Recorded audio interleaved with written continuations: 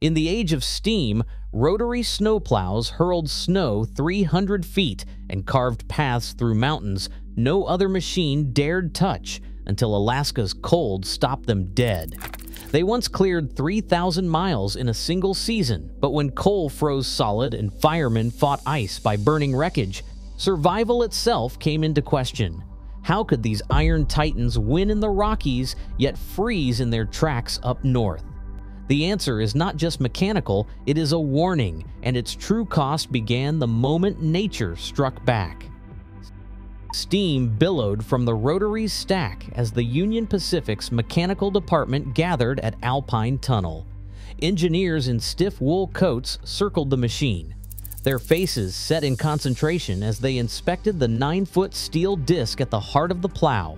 Curved blades, slick with grease and cold to the touch, promised a new kind of power.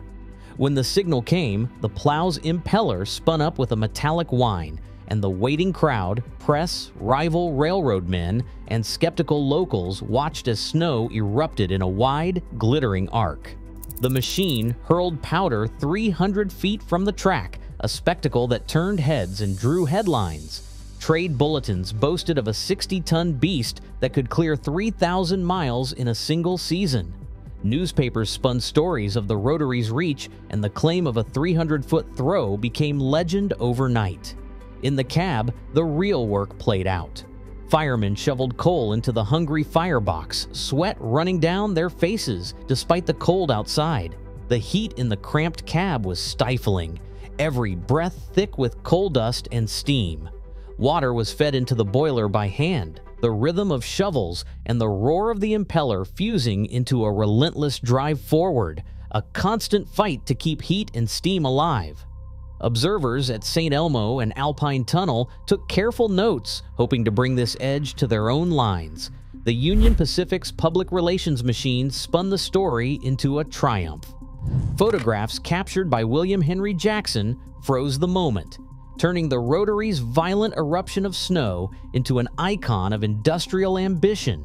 Crews experimented with reversing the blades, angling the throw to clear deeper banks, pushing the technology to its limits and beyond. The rotary snowplow became more than a machine.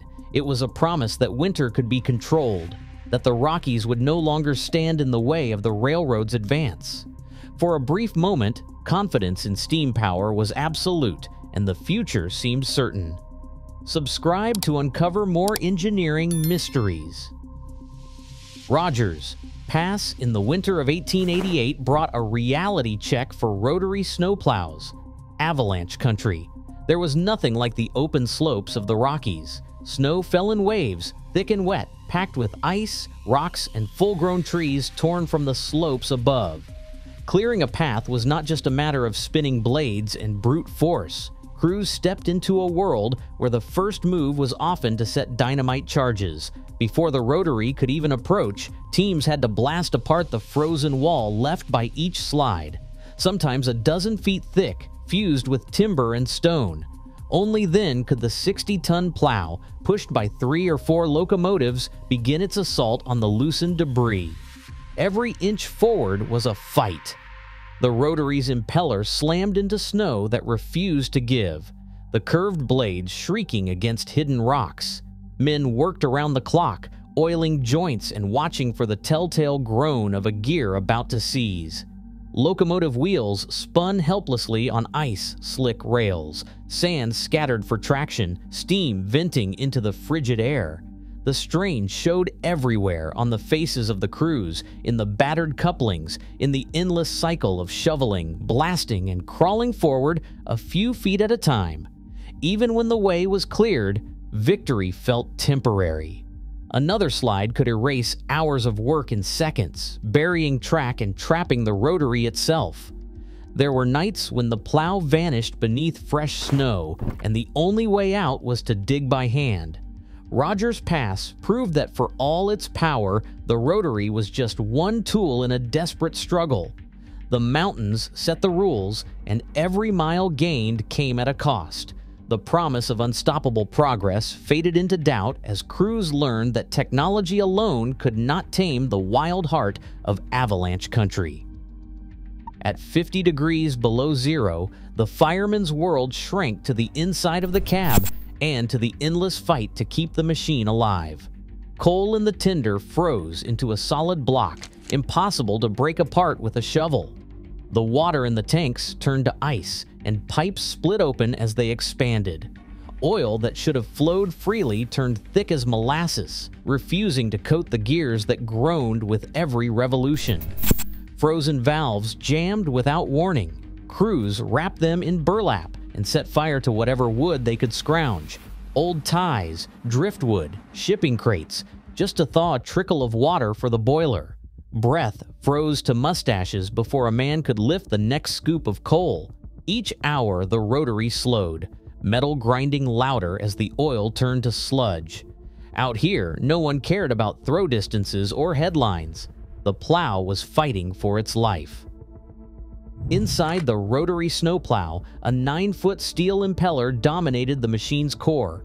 Curved blades arranged in a perfect circle scooped snow and hurled it outward with each revolution. Power came from a two-cylinder steam engine its pistons driving a heavy gear train that demanded constant lubrication. Manufacturer diagrams reveal a system designed for brute force but not for mercy. Every bolt and bearing was a potential failure point in deep cold. Three main breakdowns haunted crews. Snow packed into the blades and jammed the impeller solid. Oil thickened to sludge and starved the gears. Feedwater pipes froze until the boiler choked. A mechanical historian explains that even a minor lapse in oiling could seize the entire drive in minutes. The rotary's promise depended on every part moving in harmony, but in Alaska's cold, the margin for error vanished. When one system failed, the whole machine stopped, sometimes for good. Every gallon of water and every pound of coal had to be hauled in over a single fragile supply line. Foreman tracked the dwindling stockpile with mounting anxiety, knowing that if the supply train stalled or broke down, the rotary would be stranded, its boiler cooling, its crew left with nothing but the cold and silence. Alaska Railroad memos from the 1920s warn of this razor thin margin, one missed delivery, and the machine froze in place.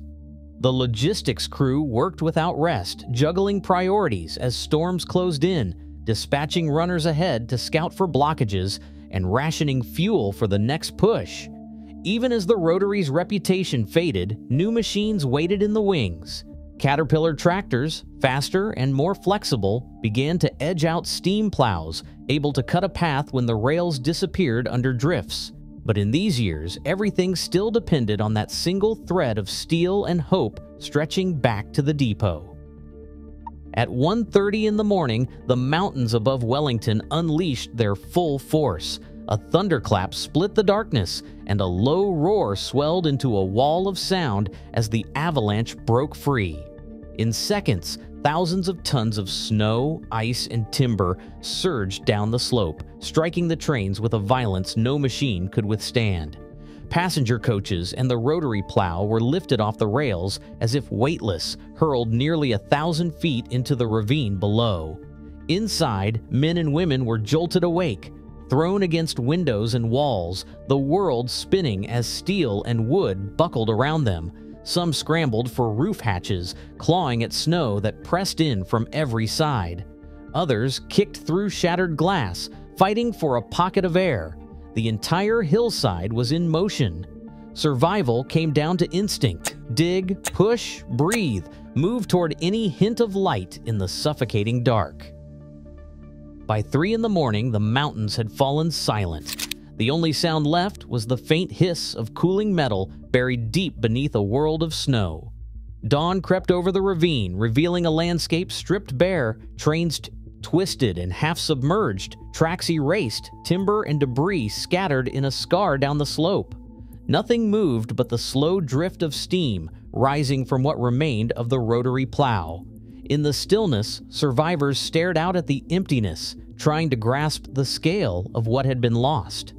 First light photographs captured the aftermath, a sweep of white and broken iron, marking the end of confidence in steel and steam.